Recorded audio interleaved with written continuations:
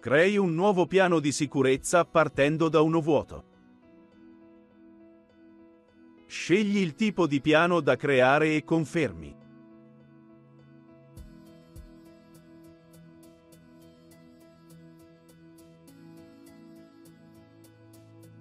Il documento ottenuto riporta solo i riferimenti normativi e le indicazioni di default del programma.